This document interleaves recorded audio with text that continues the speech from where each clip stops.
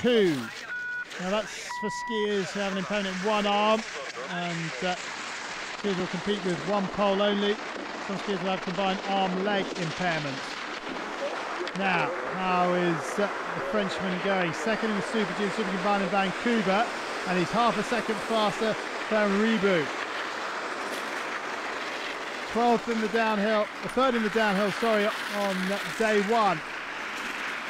Fourth in the World Championships in La Molina, one of his favourite disciplines here. Came here with high hopes of gold a number of events. Oh, brilliant, brilliant stuff off the Bears Brow. Really good skiing from Gauthier Manuel, right on the limit. 1.42 inside. 110 on the gun. 68 miles per hour. And Gauthier Manuel skiing brilliantly well down here. How can he get this turn right? Yes, he can. Running tight to the line. Riboud's time 125.03. Oh, he's in by miles. 2.44.